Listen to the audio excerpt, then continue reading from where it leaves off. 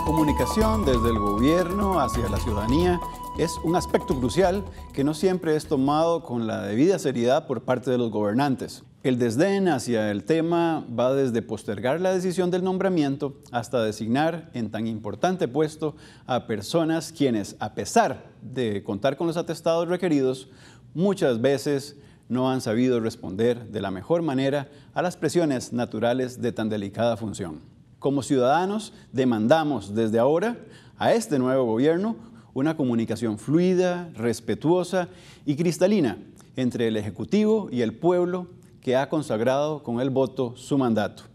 Esta comunicación, para ser efectiva, debe cumplir con algunos principios básicos.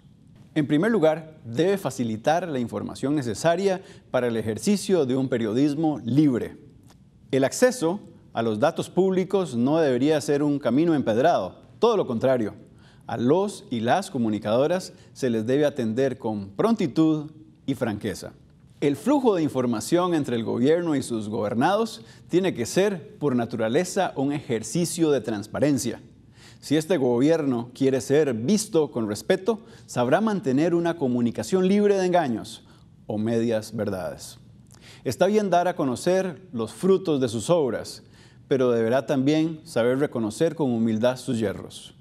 Un gobierno verdaderamente democrático estará siempre dispuesto al escrutinio público, sin ningún tipo de reservas. La auditoría constante de los medios de comunicación y de la ciudadanía no debe entenderse como una amenaza, sino más bien como un incentivo para el mejoramiento continuo de la gestión presidencial.